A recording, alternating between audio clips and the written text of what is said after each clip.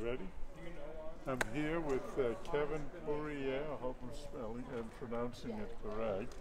He's the winner of the best of the best, uh, which is really quite an honor. I mean, it takes people years and years and years to reach a pinnacle of art where the actual skill comes out and is recognized by the peers. And that's one of the beautiful parts that SWAIA offers is that it is a showcase that very often is a springboard to all sorts of other opportunities mm. and artistic expression and the like.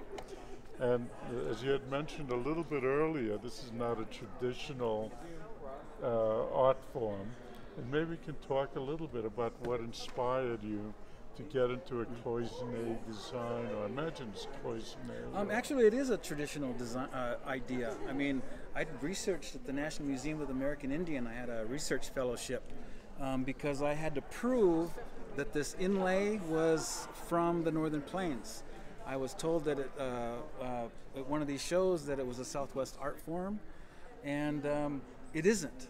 And so I got this research, and I researched for three weeks on the East Coast from Boston, New York City, Philadelphia, and DC. And I found a buffalo horn cup that was shiny like this, and it, it was drilled with holes all around it, up and down, and inlaid with a real dark blue color, like lapis color. And Crazy Horse had made that, and those represented all the horses that he'd stole. Oh. And so, and, it, and some of the inlay had come out, and I used the same dark blue inlay that he used. And um, so, this is uh, a really a tradition. I guess it's just that I've kind of upped the, the design more, you know, as a contemporary 21st century man. To innovate. Yeah. Wow. And, you know, I, um, I started out uh, just real simple earrings and things, and, and then I moved to doing the buffalo horn spoons. And on the back side of the spoon, I was able to do like, um, I started getting more of awareness about um, these injustices that are happening at home to Native peoples and these awarenesses. And it was also at a time when I had just sobered up, and I, I, I came upon artwork late. I was 30 years old, and so I was taking back my identity and who I was, and I was starting to speak out about um, things that impact Native communities at home. And so some of the uh, subjects I've uh, addressed is identity, um, lateral violence against each other. Um, I carved uh, the the uh, lateral violence was all brown fingers pointing at each other like this, and it was called um, um, once the oppressor oppresses the people long enough, all they need to do is step aside and we'll oppress each other. Yes. You know, and hopefully from those statements, people might see themselves on what they're doing and maybe create some kind of a change, or we can talk about it. Have a value change. Right.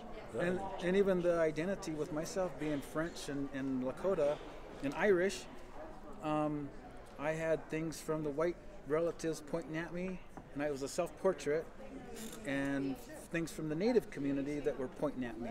And they would say, Get back to the res, get off the res, and I never quite fit. And so I did this self portrait with these fingers. And um, the neatest thing about that piece was that the most engagement I get from people are young young kids. Um, adults don't want to talk about that for some reason, but school kids will just like swarm and we talk about it. Sure. The kids are creating their own reality, mm. but the, one of the things is the need for elders to guide them. Right.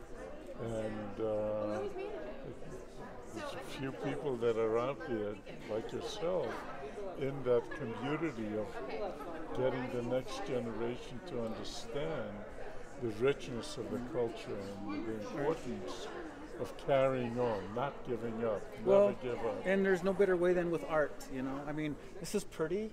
It's sitting on this pretty table, but yet there's a lot of discussion to talk about what Jody's done or Suzanne or Roxanne I mean, Suzanne Hodger. Yeah, yeah.